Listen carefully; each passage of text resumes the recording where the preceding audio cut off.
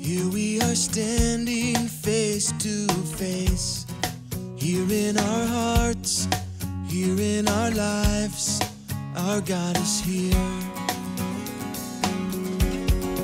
Here for the broken, here for the strong. Here in this temple,